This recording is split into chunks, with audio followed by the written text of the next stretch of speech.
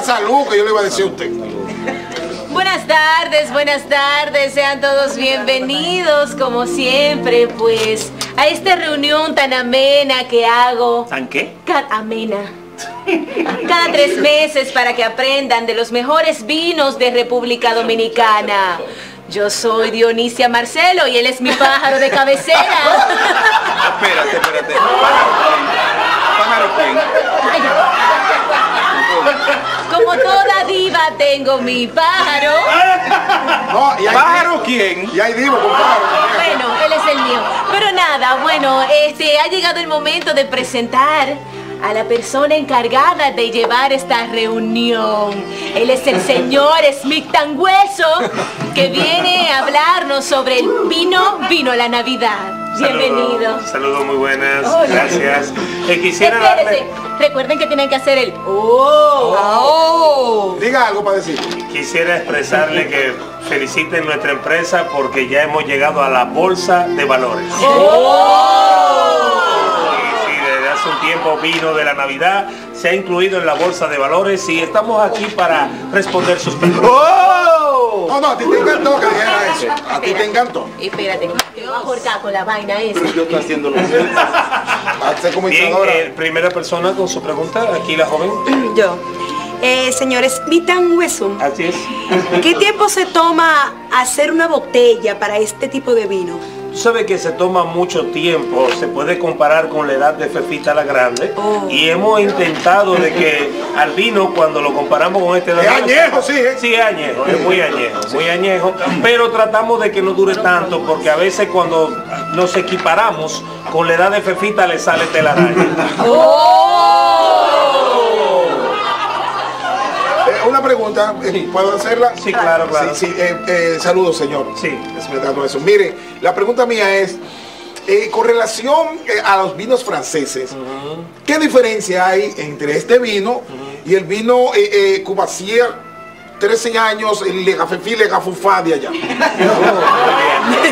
Bueno, la diferencia básicamente, la diferencia básicamente está en el nombre. En el nombre. Sí, porque ese nombre ni los franceses saben traducirlo, muy complicado y esto es sencillo, vino de la Navidad. Exacto, muy Así se llama nuestro vino. Recuerden, se llama vino de la Navidad. Aquí, por favor, su pregunta. Yo quiero preguntar una pregunta. No me diga. Permiso, mi Eh, amor. brillante. dígale a Moisés Arce que se calme, por favor, que se calme. que se calme. Este, ¿cuántas copas eh, de este excelente vino debe tomarse una joven como yo para emborracharse? Bueno, como la conocemos usted, que es una chica de Cristo Rey, que baila, que baila en la 42, eh, para embriagarse usted necesitaría cinco barricas de este. Media existencia, que hay que- medio almacén. usted El diablo se la va a llevar. Eric, y dos galones de ron. Ahí ¡Oh!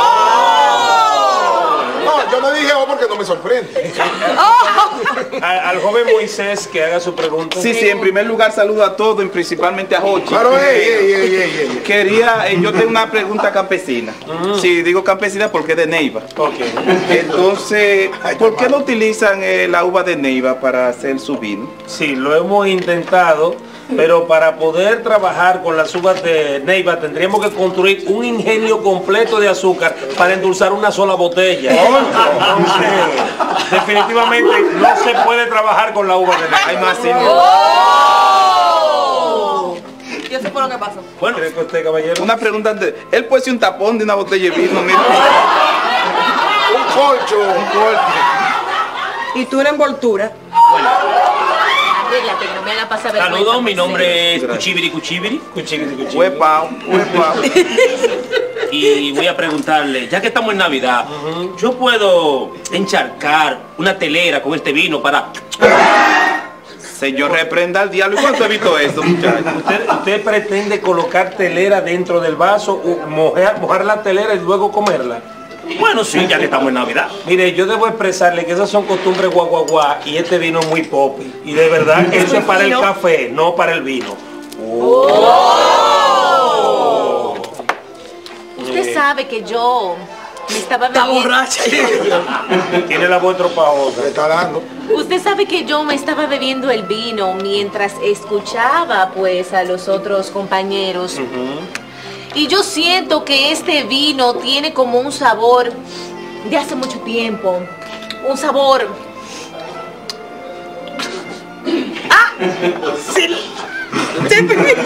Pero ¿y qué, muchacha? Ya termina. como medio viejo. Usted, ¿Qué lo, pasa? usted le sabe como al vino que entregué en la rueda de prensa de la Navidad pasada, Sí, sí, como, como. Sí. Ese, sí, yo recuerdo que usted estaba en la rueda de prensa que hice de la Navidad pasada y este vino le parece igual. Igualito. Sí, sí, sí, sabe igual porque miren, es sencillo. Este, este vino se llama vino de la Navidad, pero de la Navidad pasada, ese fue el que sobró la otra vez.